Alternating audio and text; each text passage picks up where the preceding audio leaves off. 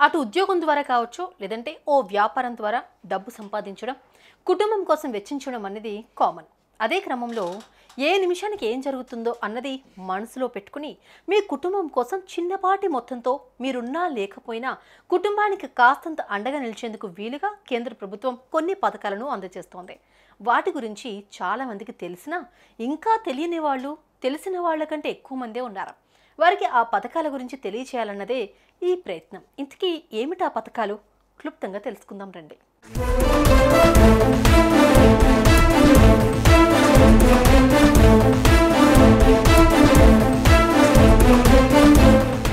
మీరు చిన్నపాటి సంపాదనా పరులైనా మీకు ఓ బ్యాంక్ అకౌంట్ ఉండి తీరుతుంది. మీరు సేవింగ్స్ అకౌంట్ ఓపెన్ చేస్తే మీకు ఆయా బ్యాంకులు డెబిట్ కార్డులు అందజేస్తాయి.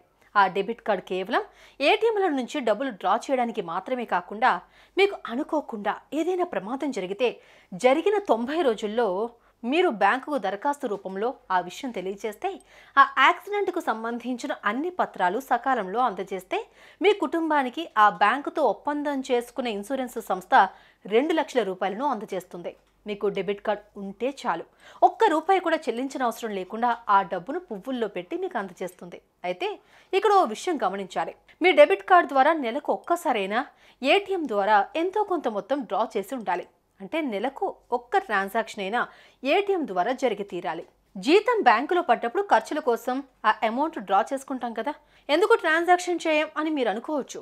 ఇప్పటి కాలంలో పేటీఎం ద్వారానో ఫోన్పే ద్వారానో చిన్నపాటి ఖర్చు నుంచి పెద్ద ఖర్చులు కూడా చెల్లించే పరిస్థితి ఉంది కాబట్టి ఏటీఎంలు జోలికి ఎక్కువ మంది వెళ్ళటం లేదు. అయితే డెబిట్ కార్డ్ నుంచి ప్రమాదానికి సంబంధించిన ఇన్సూరెన్స్ అందాలంటే మాత్రం నెలకు ఒక్కసారైనా ఏటీఎం ద్వారా ఒక్క లావాదేవీ అయినా జరిగి ఉండాలి. బ్యాంకులు అందిస్తున్న ఈ డెబిట్ కార్డ్ ఇన్సూరెన్స్ పథకంలో సహజ మరణానికి మాత్రం బీమా వర్తించదన్నది గుర్తుపెట్టుకోవాల్సిన విషయం.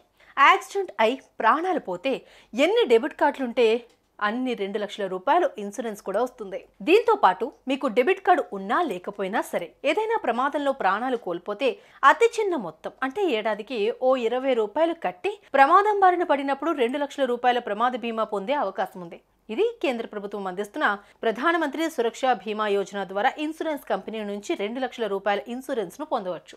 అయితే ఈ స్కీములో సహజ మరణానికి మాత్రం ఇన్సూరెన్స్ రాదు. కేంద్ర ప్రభుత్వం అందిస్తున్న ఈ ప్రధానమంత్రి సురక్ష బీమా యోజన పథకంలో సభ్యులు కావాలంటే మీకు బ్యాంక్ అకౌంట్ ఉన్న ఏ బ్యాంకునైనా సంప్రదిస్తే చాలు.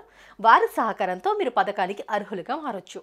ఇప్పుడు మనం చెప్పుకున్న పథకంలో యాక్సిడెంట్ జరిగితే బీమా కింద రెండు లక్షల రూపాయలు మాత్రమే వస్తాయి. అయితే కేంద్ర ప్రభుత్వం మరి కాస్తంత పెద్ద టర్మ్ ఇన్సూరెన్స్ పథకాన్ని కూడా ప్రజలకు అందుబాటులోకి తెచ్చింది. ప్రధానమంత్రి జీవన్ జ్యోతి బీమా యోజన అనే ఈ పథకంలో మీరు ఏడాదికి నాలుగు వందల ముప్పై ఆరు రూపాయలు చెల్లిస్తే దురదృష్టవశాత్తు ఏదైనా జరగరానిది జరిగి ప్రాణాలు పోయినా అంగవైకల్యం ప్రాప్తించినా ఈ డబ్బుతో వారికి మీరు లేని లోటు పూర్తిగా తీరదు కానీ కాస్తంత ఆర్థిక భరోసా లభిస్తుంది. ఈ పథకాన్ని మీకు అకౌంట్ ఉన్న ప్రభుత్వ ప్రైవేటు రంగ బ్యాంకులన్నీ మీరు కోరితే అందజేస్తాయి. ఇలా ఏడాదికి ఒకసారి ఈ ఇన్సూరెన్స్ చేసుకోవచ్చు. లేదంటే ఆటో డెబిట్ ద్వారా కూడా మీ ఇన్సూరెన్స్ పథకాన్ని రెన్యువల్ చేసుకునే అవకాశం ఉంటుంది. ఇక పోస్టల్ శాఖలో కూడా ఇలా టర్మ్ ఇన్సూరెన్స్ పథకం ఒకటి ఉంది. దాన్ని గ్రూప్ యాక్సిడెంట్ ఇన్సూరెన్స్ పథకం అంటారు. ఇందులో రెండు రకాల ప్లాన్స్ ఉన్నాయి. వీటిలో మొదటిది రెండు వందల తొంభై తొమ్మిది రూపాయలు చెల్లించే పథకం. మరొకటి మూడు వందల తొంభై తొమ్మిది రూపాయలు చెల్లించే ప్లాన్.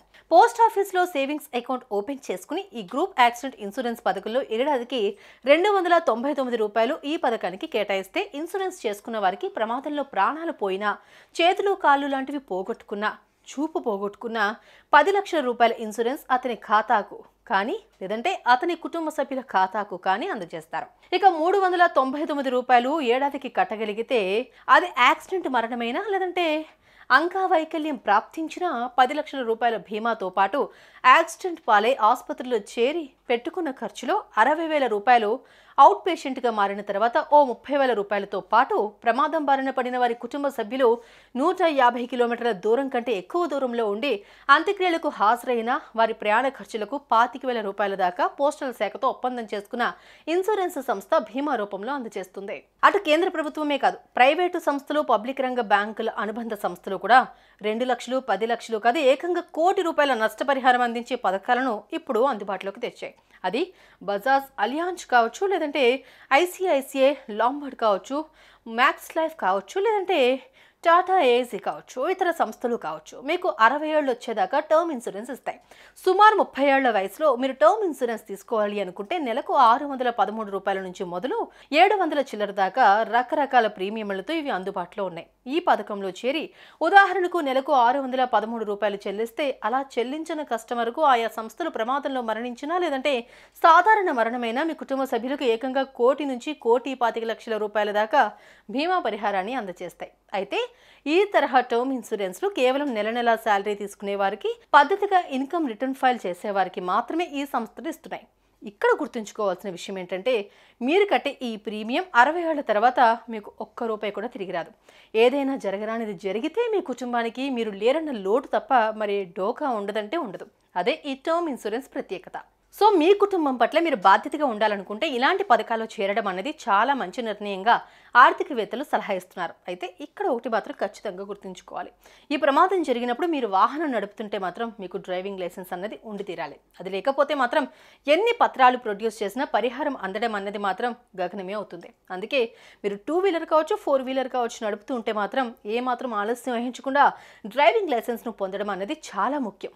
చివరగా ఈ పరిహారం పొందేందుకు మీరు సమర్పించాల్సిన పత్రాల వివరాలను కూడా ఇప్పుడు ఒకసారి చూసేద్దాం. ఇన్సూరెన్స్ క్లెయిమ్ కోసం బ్యాంకుకు ఇవ్వాల్సిన డాక్యుమెంట్లు. నామినీకి సంబంధించిన వివరాలు కాంటాక్ట్ వివరాలు. ఫిల్ చేసిన insurance claim form original death certificate post mortem report FIR panchnama accident కేసులో మాత్రమే. లోకల్ పత్రికల్లో ప్రచురించబడిన వార్తా క్లిప్పింగ్. ప్రమాదానికి గురై ఆసుపత్రిలో చికిత్స తీసుకుంటే అందుకు సంబంధించిన అన్ని పత్రాలు. ఉద్యోగి అయితే శాలరీ స్లిప్ వ్యాపారి అయితే బిజినెస్ వివరాలు. చనిపోయిన వ్యక్తి డ్రైవింగ్ చేస్తూ చనిపోతే అతని డ్రైవింగ్ లైసెన్స్. జీవితంలో ఎవరు ప్రమాదాలు జరగాలని ప్రాణాలు పోవాలని కోరుకోరు. అయితే విధిరాతను తప్పించడం అన్నది మనతనం కాదు. అందుకే కీడించి మేలించాలి అన్నట్లుగా అటు ఉద్యోగస్తులు కావచ్చు అటు వ్యాపారస్తులు కావచ్చు లేదంటే ఇలాంటి టర్మ్ ఇన్సూరెన్స్లో భాగం కావడం అన్నది మీ కుటుంబం మీద మీకున్న బాధ్యతకు ప్రతిరూపంగా నిలుస్తుంది. ఇప్పుడు మనం విన్న ఈ పథకాలన్నిటికీ సంబంధించి బ్యాంకుల్లో కావచ్చు పోస్టల్ సంస్థలో కావచ్చు పూర్తి వివరాలను మీకు అందించేందుకు సిబ్బంది సిద్ధంగా ఉంటారు. మీ పరిహారాన్ని అందించేందుకు కూడా వారు సాయం చేస్తారు. సుమన్ టీవీలో మీ పర్సనల్ అండ్ బిజినెస్ ప్రమోషన్స్ కోసం కింది నెంబర్కి కాంటాక్ట్ చేయండి.